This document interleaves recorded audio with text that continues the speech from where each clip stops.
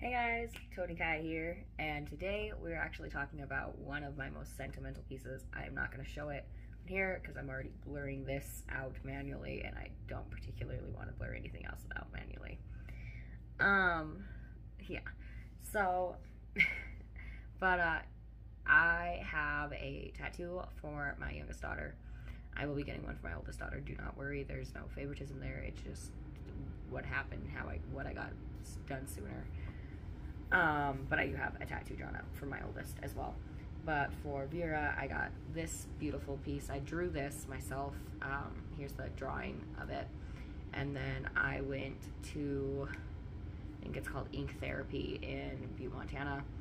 And I, I'm gonna be honest with you, I don't remember the lady's name. Um, when I went there and she did this, this is what it looked like the day of and it was a really good piece. It was really pretty. Um, I'm not going to talk a lot about that experience. Anyway, I went there and the lady was very nice. Um, she was very light-handed. I've actually haven't had a light-handed artist since probably getting my collarbone done because my regular artist is uh, have, more heavy-handed unless you ask him.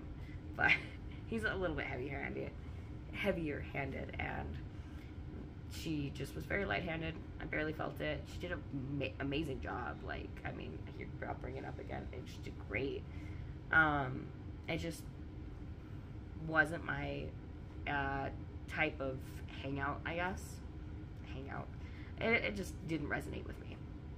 But uh, I got this for my daughter. Um, the reasons behind it are very personal. So it's a sword in a stone. Sword, Sword and Stone, obviously, um, from the Arthurian legends, because I really like the Arthurian legends. They are very good. And then there's a crown hanging off of the sword, and it says Queen, and then her name, her, yeah. So it's it's really cool. I really like it. Um, and it's just it's a cool tattoo. I went to go get the tattoo on my birthday of this year, so my past birthday just my most recent birthday, my past birthday. Um, and it's it healed really, really quickly. Um, pain level was like maybe a one, two, possibly. I could have probably fallen asleep in that chair, honestly. Um, it was, it was just a really nice tattoo. It's a very sentimental piece. I, I, I have nothing bad to say about it. It's really good. Um, this is what it looks like today, and I I love it, you know? It's just, got a piece of my little girl with me everywhere I go. And I technically got a piece of both my little girls everywhere I go, right here. But, um, no, I've, I don't, I don't know, I just, I like getting memorial, or not memorial, my little girl is still alive. I like getting memories kind of tatted on me. Like when I die, I would like to look like a sketchbook and I want people to look at it and be like, yeah, you know, he really lived.